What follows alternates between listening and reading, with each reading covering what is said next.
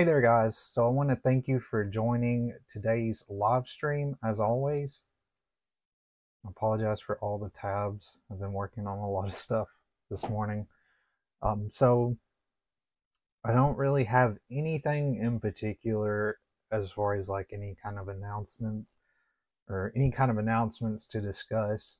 However, I still want to still want to mention about my website that I have been working hard on and it is bponlinefitness.com. You can check that out and you can look at various information about my program, how my program is structured, and how you can access live streams, how you can know when I do live streams. You can sign up for my email list that I do. I send out newsletters every week. I do try to share that more often. I just, there's a lot of different stuff I try to sort of get out there that I do offer. But one thing, if you are not a part of my email list, that's definitely something that I would recommend. I do every week send a newsletter out that discusses topics related to the live streams I do each week so that it's somewhat of a sort of a guide on what I'll be discussing. So if you're interested in getting that newsletter, definitely reach out to me. Another thing I do as well is I usually always send a sort of a reminder for the live streams to let you know when new live streams are happening. At least a day before, I usually try to send those out so that you know that one's coming up. But again, as always, I do these at 12 p.m. Um, but I do want to mention that my website's live. I've been working on it. I'm going to make more adjustments to it. Uh, but I'm really proud of sort of what I made there it's been difficult trying to figure that out because building a website does take a little bit of time to sort of learn. And so I do want to share that. And I'm really, really happy that that is up and running now. I'm going to continue to add to it and change it up. But with all that being said, guys, that's really all I have. I likely will have another trial event coming up soon relating to sort of fall and sort of, you know, getting people active while the seasons change, which kind of goes into my topic today. But I'll let you know when I do have another trial coming up or if that comes up soon. But with all that being said, guys, what I'm going to talk about today is somewhat different than what I've talked about the past few weeks. And this is more really related to now and more relevant to, you know,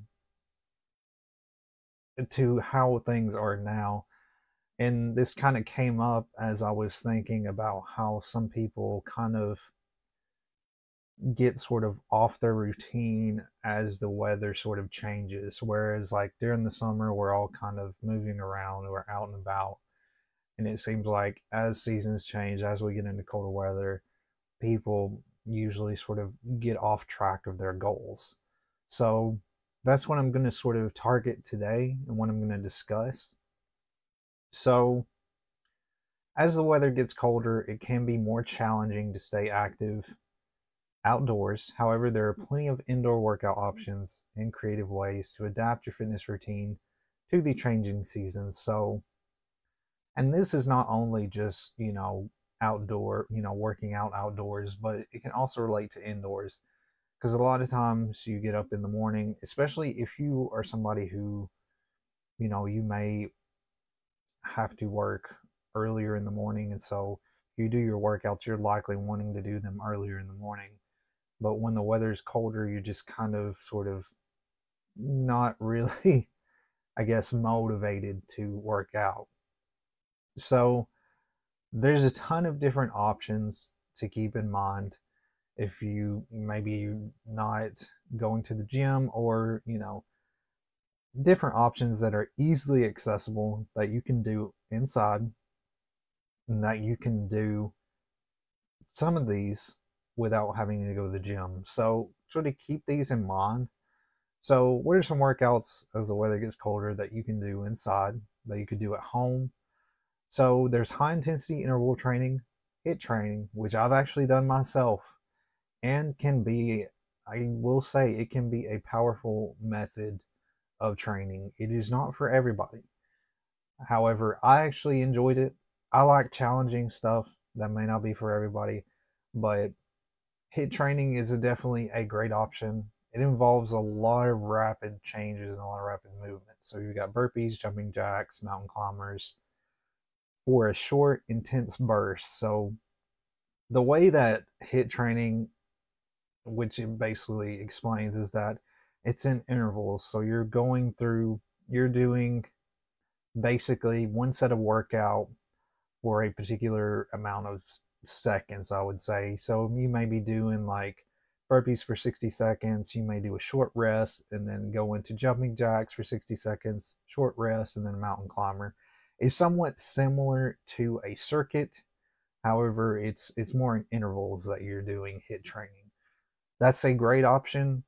There's a ton of different HIIT training workouts that are out there. And if you want to learn more, you can definitely reach out. But HIIT training is not for everybody, but that is something to keep in mind. It is a good cardio workout because I have done it myself and I can attest to it. You can invest in some basic home gym equipment like dumbbells, resistance, resistance bands, or stability ball for strength training. So I do actually have a client of mine that does a lot of workouts at home, and he's invested into some of the stuff, and a lot of these are very beneficial. Dumbbells, you can get some starter dumbbells that, that are affordable. You can get resistance bands that are affordable. Same with the stability ball. A lot of these are affordable, and you're going to get a really good workout. You can do a ton of stuff with dumbbells. That's what I really like to work out with a lot is dumbbells. Mostly, and I think it's probably my favorite method because you're you're having to sort of hold the weight. A barbell is a little bit different, whereas with the dumbbells, you're having to control the motions with both hands. Again, that kind of goes back to me with being challenging. I like mm-hmm. challenging stuff when it comes to that. So, dumbbells, there's a ton of workouts. You can target so many things. You can do leg workouts, you can do back bicep workouts, you can do tricep workouts, chest workouts. There's a ton of workouts that you can do with dumbbells. Resistance bands, there's actually a ton of different workouts. Now, it, it too, it can kind of depend on resistance bands that you're using. There's ones that have handles and there's one that are more loop based. Depending on what you use, there's sort of a limit to what you can do.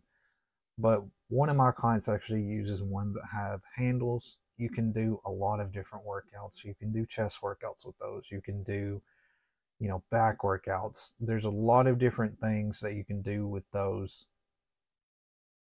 if you maybe don't have access to dumbbells as well. But complementing them together is great because you're adding a little bit of a variation. Dumbbells, you're adding a little bit more resistance than resistance bands resistance bands depending on what type of bands you have you're not going to have as much resistance as dumbbells so sort of keep that in mind. Stability ball. There's a ton of things that you can do with the stability ball. I've done stability ball based workouts and they do offer a lot of challenge depending on what types of workouts you're doing. It can be a form of strength training. So sort of keep things in mind. You can invest in these. These are very inexpensive and very good to start out at home if you are deciding to do more workouts at home versus going to the gym. Something to keep in mind. Another thing that you can do pretty much anywhere push ups, squats, lunges, and planks can all be done anywhere. You can do those as body weight workouts, or you can do those with dumbbells. You can do it with stability ball. There's a lot of different things that you can do with a lot of these workouts that don't involve you having to even leave the house. So sort of keep that in mind. These are great starter options. So before I move on into this, one thing I do want to mention is that you do need to keep in mind that when it comes to starting out, you don't want to stay in that same resistance. So if you do invest in equipment at home, and you do decide that you want to do more workouts at home, keep in mind that in order to see a progression, if your goal is to focus on, you know, muscle gain, fat loss, there's a little bit of limitations there when you only have a small amount of equipment. with muscle gain, it is going to require a little bit more resistance to see progress. So keep that in mind that there's somewhat of a limitation. Now, if you can invest in a ton of dumbbells, then you know there's no problem there. But a lot of people can't invest in that, and they can't. You know, that's a lot of money to put down. You know, having a complete home gym. So keep that in mind. That starting out, investing in those is great options. But if your goal is in particular muscle gain, you are going to have to go into an environment where you're going to you know be able to progress through your workouts so that's something i do want to mention and because i know this this has kind of been something that has sort of arisen that i wanted to discuss as well so indoor activities and at-home workouts which we've sort of discussed there's many cities that have indoor sports leagues for basketball volleyball or indoor soccer these are great options for colder weather. Indoor swimming is also a great option. If you do have access to a heated pool, swimming is a fantastic full body workout. Swimming is a really good workout that you can do. Again, if you have these sort of facilities near you, keep that in mind. It's another great way to stay active and stay on track. So, moving on from, you know, sort of the fitness aspect of it, going into nutrition next. So, staying on track with your nutrition. As the weather gets colder, it's important to adapt your nutrition to support your body's changing needs and maintain a healthy diet. So, when it comes to going into the fall in the colder months, you are likely going to be eating more. So, we're to keep that in mind to be mindful of how much you're eating. I mean, that's probably a subject that I can talk about maybe in the next month maybe talking about the holidays and what you can do, what are some healthy options that you can keep in mind, or anything of that sort. But this is what I sort of want to discuss today is about balanced nutrition. So you want to maintain a balanced nutrition as the weather gets colder, not only specifically for staying on track of your goals, but it can also help with your overall health as well. Your immune system you know, having good nutrition is going to help support your immune system, your energy levels, as well as just your overall well being. So, and I've mentioned this next section here multiple times. You want to continue to focus on whole, unprocessed foods such as fruits, vegetables, lean proteins, whole grains, and healthy fats. That can be said for almost any season, but you really, in particular, want to keep it in mind you know, when the seasons change because you're likely going to be around a lot of lot more foods when you're getting into the holidays. So these are going to provide essential nutrients to fuel your workouts and support recovery. Embrace seasonal fruits and vegetables like squash, sweet potatoes, apples, and citrus fruits. These provide important vitamins and antioxidants to help ward off illness and inflammation. Sweet potatoes are really great as long as you're not really loading it with a lot of, you know, brown sugar and a ton of butter, and, you know, it can be, a lot of these can be healthy options depending on how you cook them. So keep that in mind. So, healthy cooking methods. There's healthy cooking methods you can try, techniques for preparing food that retain the nutritional value of ingredients, which I kind of just discussed, while minimizing the use of unhealthy fats, excessive sugars, and other harmful additives. So, boosting your immune, immune system is extremely important. Involves making lifestyle choices and adopt, adapting or adopting habits that support your body's natural defense mechanisms. So again, like I just discussed, if you're focusing on sort of those whole foods, you've got fruits, vegetables, anything that is really going to help boost your immune system is going to be anything of that sort focus on you know integrating those foods into you know your nutrition while no single action can guarantee immunity a combination of healthy practices can help strengthen your immune system. That's the big key thing that i did want to mention is that you not only want to just focus on the foods that are going to lead you to your goal but you also want to focus on foods that are going to you know keep you healthy. You know that's going to boost your immune system because you're likely you know many people start to get sick when it comes to this time of year so keep that in mind that it's not just specifically about staying on track towards your, towards your goal, but also your overall health. So, what are some simple ways to boost your metabolism? So, this is going on from immune, immune system into metabolism. So, engaging in regular physical activity to promote good circulation and overall health, exercise can enhance the immune system's function. So, again, if you're just getting started, start slow with exercise. You know, gradually start to, if you, you know, do some cardio, and then if you're comfortable, move into strength training, but do it as a gradual progression if you're new to exercise. There's a lot of easy stuff that you can do to get started to, you know, even just like a, you know, getting started with like 30 minutes of exercise a day and then moving up to an hour. You know, there's a lot of different things that you can do, but don't just, when it comes to, you know, getting adjusted to routine, don't just instantly change everything go into progression, change small things to get adjusted to an overall routine. So, achieving and maintaining a healthy weight can help reduce inflammation and support of immune function. Smoking weakens the immune system, so quitting is beneficial. You want to limit alcohol consumption. Excessive drinking can impair the immune function. A lot of the anything that sort of has an addictive nature smoking and alcohol is something that you really need to be wary of because it can affect your goals if you're consuming too much of those. So, again, you want to sort of basically focus on that regular physical activity.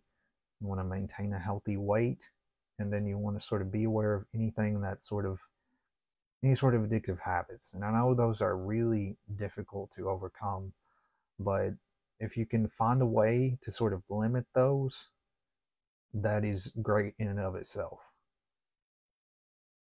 Alrighty, guys. So that's pretty much all for today. I hope that you found this helpful and valuable. I wanted to share something a little bit different than I would normally share because I know I do share a lot of more science based and more very different topics. But I wanted to sort of have something that relates to now and I felt like it was a great topic to talk about because of where we're at, you know, leading up to Halloween and then we're getting into Thanksgiving. I may do another sort of topic where I talk a little bit more about sort of the holidays and sort of what you what tactics you can take to sort of stay on track during the holidays. That may be another one that I come up with later on down the road. I do want to mention that I do have another live stream set. I think this will be relevant for a lot of people. And what I'm going to talk about next week is I'm going to talk about gaining weight or not gaining not necessarily gaining weight but gaining muscle for anybody who is a hard gainer. So that's anybody who has who struggles with gaining weight or gaining muscle. And this is very you know connects with me because i'm i was the same way until I sort of got into a routine of working out and really sort of narrow down my routine, my routine, my nutrition. So that's what I'm going to talk about next week. And I think for the following week, I'm actually going to sort of expand on that and talk about sort of maybe a topic on individuals who sort of struggle with losing weight. I think that's what I'm going to do the following week after that. But just keep in mind that for the next week, I'm going to talk about, you know, gaining muscle for hard gainers. That's going to be sort of my topic then. I already do have that event up, and I will likely get the next event up pretty soon. But if you have any questions or you have any feedback on anything I've discussed, feel free to reach out. I do want to continue to show that I do have my website. It is bponlinefitness.com. You can check that out tons of information there. You can reach my blog there too, which I'm working on updating a little more often, but I do have a ton of valuable information there that you can check out. But that's all I have for you guys today. Reach out if you need anything, and I will see you guys next Wednesday at 12 the same time to discuss our next topic for our next live stream. So thank you guys for watching.